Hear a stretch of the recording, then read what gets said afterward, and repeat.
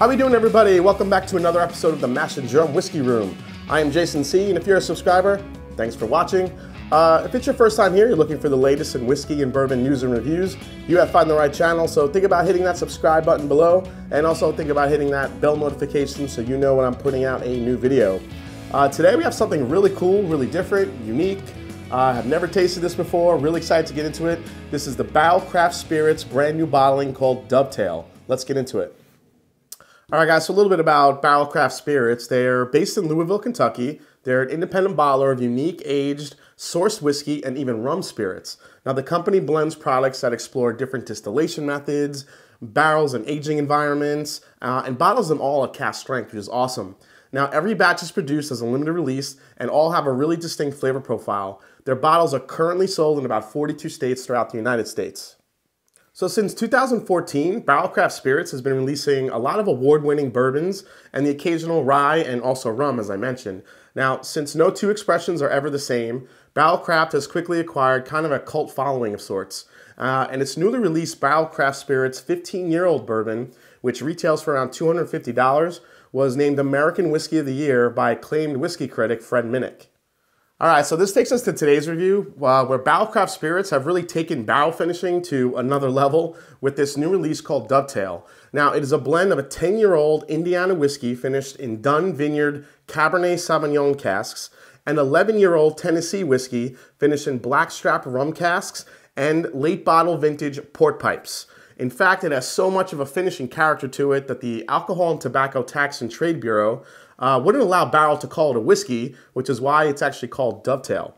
So Barrell Craft Spirits founder Joe Beatrice and master distiller Tripp Stimson uh, worked on Dovetail for almost a year and seem to care about releasing more interesting of a spirit that's high quality more than they do fitting it into a specific category, which I think is really cool. Now this blend is bottled at cask strength of 61.45% ABV or 122.9 proof. It has an MSRP of $80 and became available as of December in 2018. All right, guys, so here's a closer look at the bottle. One thing that's always stood out to me about Barrell Craft Spirits is their bottle design. It's, uh, it's very distinct. Uh, it seems it's kind of a simple, kind of elegant design. I really like it. So again, as I mentioned for Dovetail, this is a blend of 10-year-old Indiana whiskey finished in Cabernet Sauvignon casks and 11-year-old Tennessee whiskey finished in blackstrap rum casks and late bottle vintage port pipes. Uh, it's bottled at cask strength at 61.45% or 122.9 proof. So let's get into this a little bit. Let me cut the uh, little tape up here. All right, let's uncork this. And, ooh, squeaky. Ooh, that smells amazing on the cork. All right, let's get a pour. Oh, I dripped a little bit. All right, let's get into it. All right, guys, so I've been swirling this around for about 10 minutes now, trying to release some of those aromas, those flavors. You know, bottled at 122.9, really trying to release a lot of those notes. So before we get into it, let's get into the color a little bit. It's a nice dark golden honey color, maybe a hint of amber in there. Really sticks to the glass well, really coating it. Yeah, beautiful, beautiful looking whiskey. All right, guys, so I'm excited. Let's get into the nose on this one. It's already, could already start smelling it. Here we go. Wow. Really, really heavy uh, rum note on here. That, that rum, uh, that blackstrap rum cask influence is definitely on the nose. It's got a, you're definitely getting those typical vanilla caramels from the, you know, really nice uh, aged whiskey. chocolate covered raisin. Definitely, definitely some really deep, dark molasses sitting here that I could smell. Oh, you know what I smell on here? Um, around the holidays, they make them. It's like a ginger snap cookie. It's like a spicy ginger note, but you know, you have molasses mixed in there too. It's like a ginger snap cookie. Mm. And underneath all that, really, as it's opening up now, I'm getting a really nice uh, dark fruit flavor, almost like a strawberry jam, strawberry, blueberry, maybe. It's that's got to be from the Cabernet cask, uh, the Cabernet cask influence in there. Wow, the nose is just super inviting and delicious. I mean, you could probably sit with this for hours and just pick apart different flavors. Probably different for everyone. All right, guys, I'm ready to taste this stuff. Hope you're ready too. Here we go. First sip. Cheers. Let's get into it. Whoa. Wow, did that light my palate up. Wow, you really feel the alcohol on the first sip. Mmm. Oh, but now the finish. All right, all those deep, dark flavors I was getting on the nose, definitely getting them on the finish. But, uh, you know, that first sip, all I really got was alcohol. So let's get to that second sip and see what we get here. Cheers. Oh, wow. So, yeah, that dark molasses, that ginger snap cookie I was getting on the nose, I'm getting on the palate. It's like caramel and vanilla meet super dark molasses, ginger. Really immediately, just that's what I'm getting hitting so far in the palate. But now on the finish a little bit is where that kind of the darker fruit is starting to show itself a little bit. All right, let's go for another quick sip here. Cheers. Wow, so this is crazy. So each sip I take, it's just getting better and better and different things are showing itself.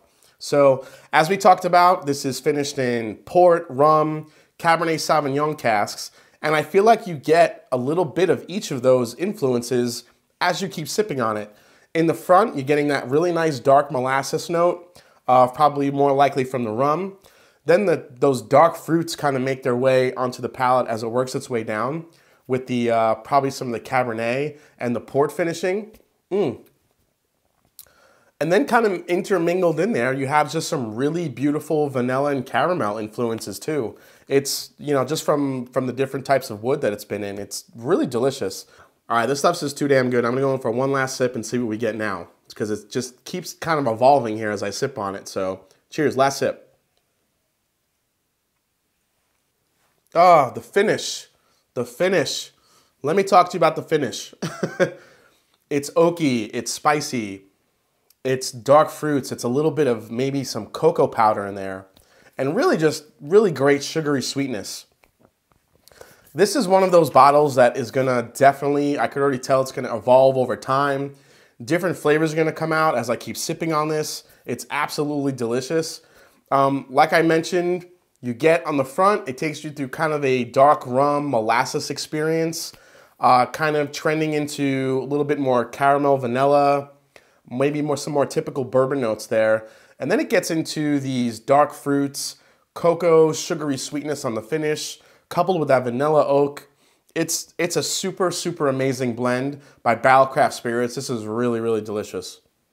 All right, guys, so what I'm gonna do now is I'm gonna add a little bit of water to this uh, and see if it opens it up, it changes. It is 122.9 proof. So I have a little bit of water here. So let's drop this in, a couple drops. Now, my palate has gotten used a little bit to the alcohol flavors in here, but I'm hoping that it can maybe open up some more of those sweet flavors. All right, guys, so this has been sitting in here for about five, six minutes, been swirling around. Uh, let's see what we get on the nose here. Oh, it definitely, definitely got sweeter. Now it's just pure rum candy in there. Wow, a lot of those fruit flavors have really kind of bursted out now too. Uh, the it's not really hiding behind the alcohol anymore. It's definitely brought it down a notch. Mm, this is like strawberry jam, cocoa powder. Wow, I'm actually really enjoying this with a little bit of water in it. It's really kind of cool on the nose. Mm, that rum sweetness, that molasses, really, really coming through now with a little bit of water. All right, let's try on the palate, guys. Here we go. Cheers.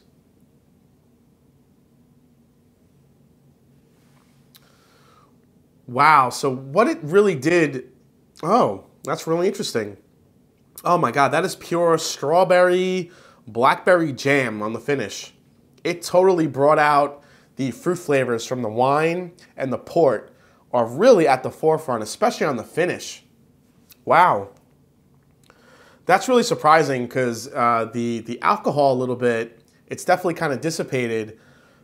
Wow, the fruit flavors on this now, just adding a little bit of water really opened it up. I'm gonna go in for another sip here.